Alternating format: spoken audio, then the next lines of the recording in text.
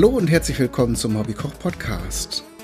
Heute mal wieder mit einer der alten Rubriken, die sehr, sehr beliebt sind, nämlich der Schnitzelkunde. Und dazu begrüße ich natürlich den Udo. Hallo Udo. Moin.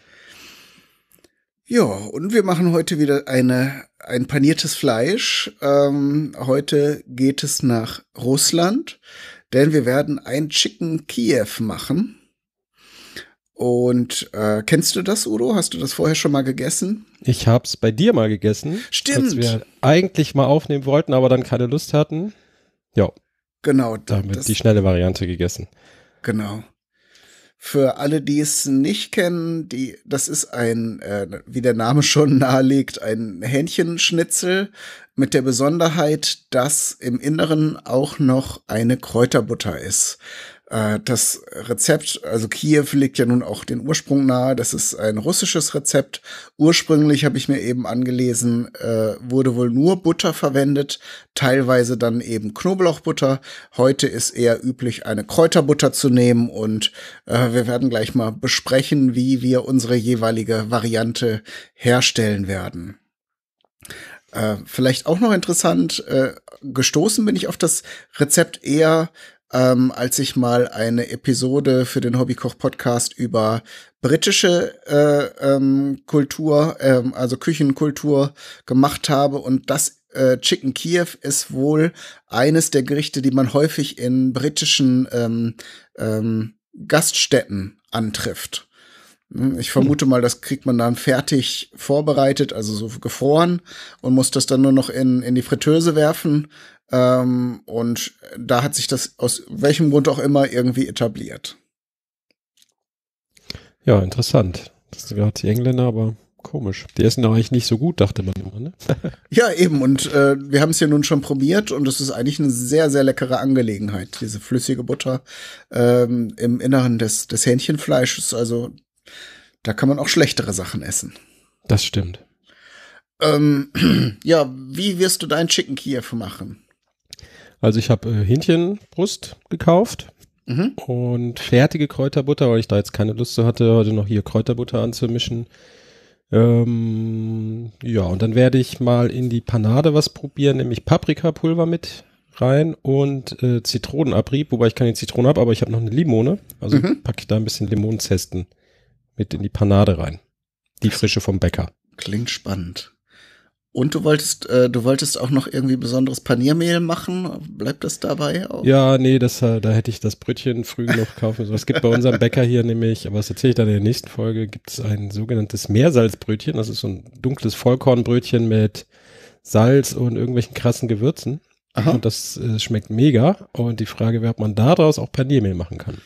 Das werde ich dann ja, irgendwann mal testen. Wäre ja zu vermuten. Du hast ja neulich schon mal so geschwärmt. Muss ich eigentlich auch mal probieren. Mal sehen, wann ich da in deiner Ecke bin, damit ich dieses legendäre Meersalzbrötchen probieren kann. Ja. Ähm, aber ich werde, ich werde äh, auch eine ganz konventionelle Panade machen. Das heißt, wenn ich, ich mache die Panade jetzt ja selber immer aus altem Weißbrot oder Brötchen und habe mir so angewöhnt, da ähm, bei der Küchenmaschine die gröbere Raspel zu nehmen, so dass auch größere Stücke dabei sind, die dann so ein bisschen Effekt haben wie das äh, Panko, also dass dann äh, eine dickere Panade und eine krossere Panade noch entsteht. Und äh, die Kräuterbutter werde ich selber machen. Ähm, mal schauen, was mir so einfällt. Also da kann man ja dann immer nehmen, was man so findet. Ich habe hier auf dem Balkon äh, jede Menge Petersilie Knoblauch, Bärlauch habe ich noch da. Äh, ein bisschen Zitronenthymian werde ich reintun. Vielleicht noch Rosmarin.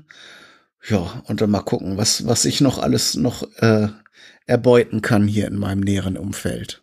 Ja, das ist natürlich immer gut, wenn man frische Kräuter im Garten hat oder auf dem Balkon. Genau. Und der Bärlauch hat ja im Moment Saison, von daher muss man dann ein bisschen Knoblauch werde ich trotzdem reintun, weil zu viel Bärlauch wird dann ja etwas bitter muss ich immer wieder erschreckt feststellen. Ähm, von daher, und auch da könnte man jetzt zum Beispiel Zitronenzesten reintun. Ähm, ich weiß nicht, du wirst ja nachher berichten, wie das mit der Panade funktioniert. Äh, da ist ja die Gefahr groß, dass das dann ein bisschen zu heiß wird beim Garen, aber in die Kräuterbutter kann man das auf jeden Fall immer mit reintun, denn im Inneren des ja. Hähnchens ist es ja dann geschützt. Genau, ich werde auch einfach zwei machen, eins mit und eins, also eins mit normaler Panade und das andere dann mit, äh, mit, mit ja, Gewürzpanade. Genau. Ja. Okay. Weil ich auch nicht weiß, ob das Paprikapulver das so überlebt, aber das sollte es. Also es ist ja auch eine Zitronen weiß typische halt Grillzutat, Grillmarinadenzutat. No. Ähm, das müsste eigentlich gehen.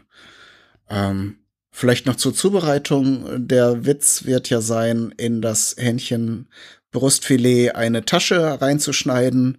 Ähm, da ist so der typische Ansatz des, dieser Schmetterlingsschnitt, also es mehr oder weniger fast ganz äh, durchzuschneiden der Länge nach. Ähm, ich hatte so den Eindruck, als wir das ähm, vor einiger Zeit mal ausprobiert haben, dass es dann doch noch relativ dick ist. Ich werde mal sehen. Vielleicht mache ich, äh, schneide ich das sogar durch und mache dann aus den Hälften noch mal solche äh, Taschen. Und dann kann man es hier natürlich auch noch ein bisschen platt klopfen mit dem Fleischhammer, ähm, damit es eben mit der Füllung nachher nicht zu dick wird. Genau, und der Trick ist, glaube ich, auch noch nicht zu viel Butter reinzumachen. Mhm. Weil, weil der, der baut sich ja, das Fleisch zieht sich auch noch zusammen. Und wenn ich das Ding jetzt randvoll mit Butter mache, Fleisch zieht sich zusammen, Butter wird flüssig, was kann man sich ja vorstellen, was dann passiert. Ja, eben. Nee, und dann lieber ein bisschen ins, äh, ins Innere der, der Fleischtasche sozusagen an, an der Seite reinlegen. Dann kann sich das noch ein bisschen ausdehnen und äh, verteilt sich so oder so dann beim Erwärmen äh, in, dieser, in dieser Tasche, die man geschnitten hat. Äh, also weniger ist da auf jeden Fall mehr. Ja, machst du noch irgendwas dazu? Oder? Nee, ich, ich habe jetzt mal den Udo-Ansatz gewählt und heute gibt es kein, keine Beilagen. Das heißt, äh, ich habe hier so, so Kartoffelpüree-Pulver, mal, mal schauen. Äh, wenn, ja. wenn es mich überkommt, dann mache ich da noch ein bisschen Kartoffelpüree, weil das ist, glaube ich, ganz schön, um die Kräuterbutter dann noch ein bisschen, die dann ja beim Anschneiden rausläuft, noch ein bisschen aufzufangen. Äh, aber ich gehe jetzt erstmal davon aus, dass ich nur das äh, Chicken Kiev mache. Das geht ja eigentlich als komplette Mahlzeit durch. Ja, ist ja alles dabei. Soße quasi mit eingebaut. Genau. Gut. Okay. Dann, dann gehen wir jetzt wieder in die Küchenpause. Küche. Genau. Und dann hören wir uns später wieder und äh, berichten von unseren Ergebnissen. Genau. Bis später. Bis später. So, da sind wir wieder. Und wie ist gelaufen? Ja, es war, ähm, also ich fand es ein bisschen kompliziert, wenn man das nie gemacht hat, diese Tasche da reinzuschneiden. Mhm. Ähm, also bei mir war es dann eher keine Tasche, sondern ich habe das ganze Ding halt quasi halbiert aufgeklappt, dann die Butter da reingelegt und ordentlich zugeklappt. Und das ging sogar ganz gut. Also es, mhm. bei einem, bei einem Ding floss ein bisschen was raus, es war aber auch nicht so, so äh, ja, hat die Natur halt ein bisschen schief und krumm gemacht, aber bei den anderen beiden, die ich gemacht habe, war alles super. Ja, also ich habe da jetzt auch nicht großartig äh, da äh, Taschen geformt, sondern das genauso gemacht wie du. Also da das Ganze ja paniert wird und entsprechend mit einer Eierpampe äh, versehen, klebt das eigentlich ganz gut zu, wenn man ja. sich an deinen Rat hält ähm, vom ersten Teil, dass man da nicht zu viel Kräuterbutter reinstopft. Und äh, was, was ich jetzt ähm, beim nächsten Mal anders machen würde, ist, äh, ich habe die Butter, um die Kräuterbutter anzurühren, so ein bisschen bei Zimmertemperatur stehen lassen, damit sich das leichter vermengen lässt. Ähm, und habe das dann gleich weiter verarbeitet und die Hähnchenbrust damit befüllt. Ähm, da ist jetzt quasi außer den Kräutern nicht viel zurückgeblieben. Also, wenn man, wenn man es vorbereitet und dann äh, die Sache nochmal in den Kühlschrank stellt und die Butter nochmal ein bisschen fest werden lässt, dann hat man eher diese cremige äh, Butter, die dann noch so noch ein bisschen Struktur hat. Äh, so ist die jetzt ziemlich in das Fleisch eingezogen. Ah, okay. Ja, ich hatte meine Kühlschrank kalt mhm. und äh, das war nachher noch schön flüssig. Ja, also ist jetzt auch nicht schlimm gewesen. Der Geschmack der Kräuterbutter hat sich dann natürlich in dem ganzen Hähnchenfleisch verteilt.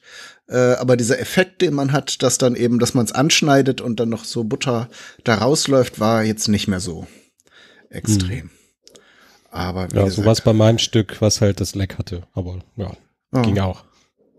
Ja. Und geschmacklich, würdest du das nochmal essen wollen? Ja, wobei ich dann, glaube ich, eine eigene Kräuterbutter machen würde. Und tatsächlich noch, ich wollte ja eigentlich Zitrone an die Panade machen, habe ich natürlich vergessen. Äh, ich glaube, das, das würde ich nochmal ausprobieren, das ist doch nochmal zu tun. Also ich fand es, war jetzt ein bisschen ähm, nicht langweilig, aber zu gewöhnlich, weil halt Fleisch mit, mit, mit Kräuterbutter. Also ja. da hätte man es auch oben drauf machen können, aber ich glaube, wenn man das noch auch gerade mit frischem Knoblauch und so noch macht und mehr Zitrone, dass es vielleicht noch besser ist. Genau, da kann man natürlich dann an der Qualität und an dem Geschmack noch mal einiges verändern oder auch mal ja andere andere Gewürze reintun, was man halt gern mag.